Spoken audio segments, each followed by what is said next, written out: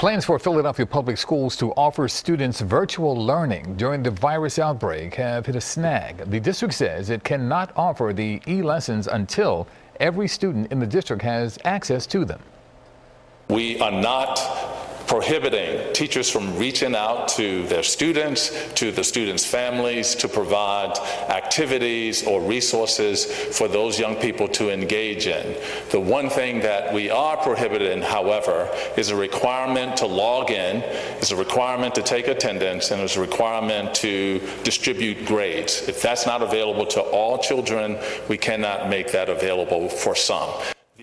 Dr. Hite also said the school district has to follow those rules put in place by the Pennsylvania and U.S. Departments of Education.